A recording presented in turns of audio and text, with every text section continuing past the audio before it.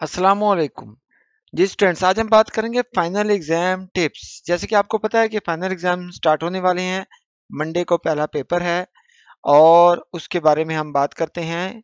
Number एक के सबसे पहले आप अपनी डेट शीट का प्रिंट निकलवा लें। क्यों? कि उससे आपको अपनी डेट, टाइम और प्लेस ऑफ़ एग्ज़ाम का पता चल जाता है। अमूमन ऐसा होता है कि हमारे स्टूडेंट्स एन आखिरी लम्हे में जब अपनी डेट शीट का प्रिंट निकालने के लिए आते हैं तो उस वक्त उनका पासवर्ड वर्क नहीं कर रहा होता या रीसेट करने वाला होता है। और जब वो डेट शीट निकालते हैं तो उन्हें पता चलता है कि ओहो, मेरा पेपर तो इधर नहीं था, उधर था। और, अमूमन सेम नेम की वजह से या सेम टाइम की वजह से वो परेशानी का उनको सामना होता है। और जैसे कि इस्लामाबाद में इस दफ़ा एग्ज़ाम सेंटर एक नया बना है, जिसे कॉमसेट यूनिवर्सिटी का कैंपस कहते हैं, वहाँ पर इम्तहान होगा हमारे कुछ स्टूडेंट्स का। तो ऐसे स्टूडेंट्स के लिए मेरी गुजारिश है कि आप एक दिन पहले अपने इम्तहानी सेंटर को विज़िट कर लें तो आपके आपको पता चले कि मैंने इम्तहान वाले दिन किस रास्ते से आना है और कौन से गेट से एंटर होना है और कौन से ब्लॉक में जाना है। क्योंकि कॉमसेट यूनिवर्सिटी एक वसी और रीज रकबे पर फैली हुई है तो उसमें आपने किस जगह पर जाना है, कौन से रूम में जाना है।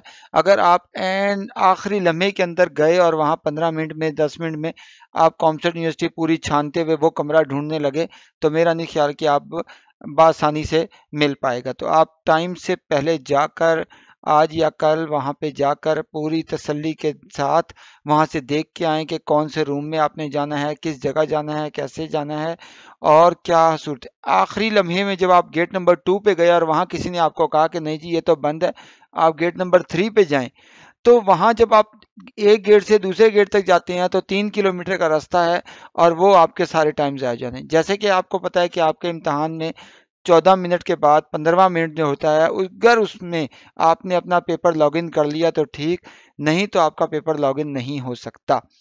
तो इसलिए उस परेशानी से बचने के लिए आप अपने इम्तहानी सेंटर को पहले से जाकर देख लें और उसका रास्ता आपको पता हो, उस कमरे का आपको पता हो कि मैंने जाना कहाँ है। नंबर तीन, जब आपने इम्तहानी सेंटर में एंटर होना है तो वो आपसे पूछेंगे कि आपके पास रोल नंबर स्लिप है, उसका प्रिंट है, वो आपके हाथ में होना चाहिए और आपके पास शनाख्ती कार्ड असल होना चाहिए। अगर किसी स्टूडेंट का शनाख्ती कार्ड नहीं बना या गुम गया तो उसका दाखिला बे फार्म पर हो गया तो उसके पास वीयू का कार्ड असल होना चाहिए। अगर किसी स्टूडेंट को वो कार्ड ही नहीं मिला या किसी वजह से वो गुम गया तो उसके पास मैट्रिक की असल सनद होनी चाहिए। ऐसी चीज़ जिसके ऊपर उसकी असल तस्वीर हो, यानी कि शनाख्ती कार्ड या वी का कार्ड या मैट्रिक की असल सनद। इनमें से कोई एक चीज़ उसके पास लाजमी होनी चाहिए अदरवाइज़ वो इम्तहानी सेंटर में एंटर नहीं हो सकता। और ये कि स्टूडेंट्स को जब इम्तहान में बैठ जाते हैं तो वहाँ पर एक परेशानी का सामना आता है कि उनके पास बॉल पेन ही नहीं होता लिखने के लिए। अब, स्टूडेंट्स का ये जवाब होता है कि, सर, पेपर तो सारा एम बेस है तो मैंने लिखना क्या है? आपने जनाब अटेंडेंस शीट पर दस्तखत करने होते हैं और आपने रफ शीट के ऊपर कोई रफ अमल करना होता है। जब आप वो करने बैठते हैं तो आपके पास पेन ही नहीं होता और फिर आप किसी स्टूडेंट से या किसी एग्जामिनर से मांग रहे होते हैं जिसमें आपका टाइम का ज़िया होता है। और सम टाइम वो कोई आपको पेन मिल पाता है और सम टाइम नहीं मिल पाता तो वहाँ आपको परेशानी होती है। तो ऐसी चीज़ से बचने के लिए आप एक अदद बॉल पेन पेन अपने पास रख लें, ताकि इम्तहानी सेंटर में आपके पास लिखाई के लिए दस्खत के लिए और रफ अमल के लिए आपके पास अपना पेन मौजूद हो और आपको किसी से पेन मांगने की ज़रूरत ना पड़े। और एक चीज़ इसमें ऐड करता हूँ कि अमूमन बच्चे ऐसे होते हैं कि वो जॉब करते हैं और उनको बहुत जल्दी होती है इम्तहान की और इम्तहानी रूम में जाने की भी और इम्तहानी रूम से बाहर आने की भी। और वो ठीक तीन मिनट के बाद, पंद्रह मिनट के बाद या दस मिनट के बाद कहते हैं, मैंने सारे टिक लगा दिए। वो आँखें बंद करके लगाते हैं या पढ़ के लगाते हैं, ये तो मैं कुछ नहीं कह सकता। लेकिन वो टिक लगा लगा के और दो मिनट में बाहर आ जाते हैं। तो ऐसी स्टूडेंट्स को मैं रिक्वेस्ट करता हूँ कि आप अपने एम को बहुत तसल्ली के साथ देख के टिक लगाएँ। और अगर आपको किसी स्टेज के ऊपर कोई कन्फ्यूज़न है तो उसको फ्लैग लगा लें वहाँ पर कि ये मेरा नंबर है, जो, ये मेरा क्विज़ नंबर है जो मैंने किया है, लेकिन मुझे इसके ऊपर डाउट है और मैं इसको बाद में सोच के कर लेता हूँ।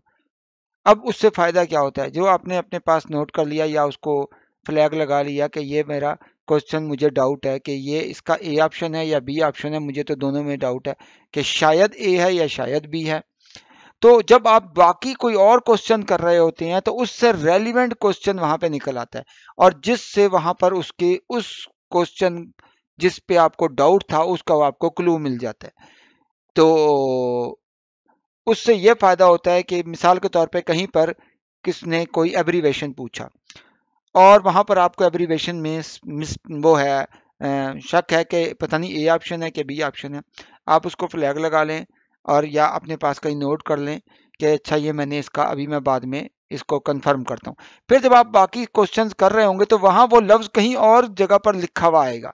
जैसे लिखा हुआ आएगा तो आपको नज़र में आ जाएगा और आप उसके स्पेलिंग में मैच कर सकते हैं और वहाँ से आपको क्लू मिल जाता है कि हाँ ये ठीक है, यहाँ पर इसने, ये देखो इसने भी ये लिखा हुआ है। तो वहाँ से आपको क्लू मिल जाता है और आप फिर वापस उस क्वेश्चन को जाकर अपने आप को करेक्ट कर लेते हैं। तो इस तरह से एक क्वेश्चन दूसरे क्वेश्चन से काफ़ी रेलिवेंट होता है तो वहाँ से उसको आपको क्लू मिल जाता है और आप अपनी वहाँ से हेल्प ले सकते हैं। कुछ ऐसे क्वेश्चन होते हैं जिसमें एक लफ्ज के डुअल मीनिंग होती हैं और जिसकी वजह से वो बच्चा कंफ्यूजन का शिकार हो जाता है कि ओहो, पता नहीं ये ये था कि ये था। तो ऐसी सूरत में आप ऐसा करें कि एम एस वर्ड खोल लें और उसमें आप सुनोनिम में जाकर वहाँ पर उसका सुनोनिम देख लें तो सुनोनिम से आपको हेल्प आउट हो जाएगी कि अच्छा इसके मीनिंग ये ये हो सकते हैं। या उसका जो है ना, अपोजिट देख लें तो आपको उसका अपोजिट पता चल जाएगा कि अच्छा ये इसके अपोजिट ये हैं तो ये ये ये हो सकता है। तो किसी भी वर्ड के ऊपर अगर आपको उसका मीनिंग पता चल जाए तो आप उसको एक्सप्लेन कर सकते हैं। तो जब आप को कोई वर्ड कहीं फंस जाए और वो आप उसको कन्फ्यूज़न का शिकार हो जाए तो आप एम एस वर्ड से उसकी सिनोनिम से उसकी हेल्प आउट लेकर उसको अपनी कन्फ्यूज़न को क्लियर कर सकते हैं। कुछ बच्चों का ये मसला होता है कि सर वो पेपर में हम लेट हो गए और हम अब क्या करें? तो ऐसे बच्चे जिनके पेपर में किसी भी मजबूरी की बिना पर घरेलू मजबूरी या उनके जॉब की मजबूरी की बिना पर वो पेपर पर नहीं आ सके तो ठीक है, कोई मसला नहीं, वो रीशेड्यूल करवा सकते हैं अपना पेपर और दो हज़ार रुपये फाइन के साथ उनका पेपर एंड पे हो जाएगा और अगले दिन एलएमएस में उनका रीशेड्यूलिंग का ऑप्शन आ जाता है। जहाँ पर स्टूडेंट सर्विसेज़ है, वहाँ पर वो रीशेड्यूलिंग का ऑप्शन आ जाता है और वो अपना मिस शुदा पेपर जो किसी मजबूरी की बिना पर रह गया था, वो दो हज़ार रुपये फ़ाइन के साथ आप अपना पेपर एंड पे दे सकते हैं और उसकी डेट और टाइम यूनिवर्सिटी अनाउंस करती है कि आपने ये पेपर कब देना है और किस टाइम को देना है। जैसे कि आपको यूनिवर्सिटी का शेड्यूल का पता ही होगा कि अब जो आप पेपर दे रहे हैं फाइनल टर्म के, ये आपके, मेरे अंदाजे के मुताबिक ये आपके तकरीबन पास हैं। अब आप कहेंगे, वो कैसे? तकरीबन पास पास कैसे?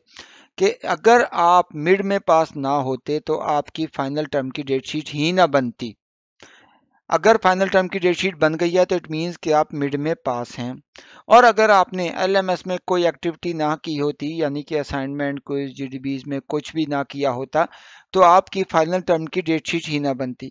यानी कि आपने वो बैरियर भी अबूर कर लिया पास कर लिया। यानी कि वो जो दो बैरियर थे, आपने वो अबूर कर लिए और अब आप फाइनल बैरियर की तरफ़ आ गए हैं। तो अब आपसे गुजारिश है कि जब आपने वो दो बैरियर अबूर कर लिए हैं तो फाइनल टर्म में अगर थोड़ी सी भी मेहनत कर ली जाए, थोड़े से भी एमसीक्यूज को तवज्जो से देख लिया जाए तो आप आसानी ये वाला बैरियर भी अचीव कर लेंगे। और जिन बच्चों की डेट शीट ही नहीं बनी या कुछ सब्जेक्ट्स की नहीं बनी, इट मीन्स कि उनका वो सब्जेक्ट फेल तस्वर किया गया है। क्योंकि उन्होंने उसमें कोई एक्टिविटी नहीं दिखाई और उसके मिड में कोई नंबर अचीव नहीं कर पाए हाईएस्ट और या उनके असाइनमेंट क्विज जीडीबीज वगैरह की एक्टिविटी नहीं हो पाई या लेक्चर प्ले नहीं हो पाए उनसे तो जिसकी वजह से उनकी फाइनल टर्म की डेट शीट ही नहीं बनी। अब चूँकि आपकी बन गई है तो इट मीन्स कि आपने वो तमाम मराहल, इब्तदाई मराहल अबूर कर लिए हैं। तो अगर आप फाइनल टर्म में थोड़ी सी ही मेहनत कर लें तो आप बसानी ये वाला बैरियर भी अचीव कर लेंगे, क्योंकि आप पीछे से पास आ रहे हैं। तो उम्मीद करता हूँ कि आपके लिए ये आसानी हो जाएगा। और इसमें आप मुख्तलिफ़ किस्म के जो पेपर्स हैं, हमारे मुख्तलिफ़ एम सी क्यूज़ की वीडियोज़ हैं और यूट्यूब पे बहुत ज़्यादा मवाद इसका अवेलेबल है एम सी क्यूज़ का और पास्ट पेपर्स भी हैं। अगर आप उनको देखें तो आपको काफ़ी कुछ एम सी क्यूज़ का मवाद मिल जाएगा। और अगर आप एम सी क्यूज़ को थोड़ा सा एक नज़र गो थ्रू कर लेते हैं तो मेरा नहीं ख्याल कि आप फाइनल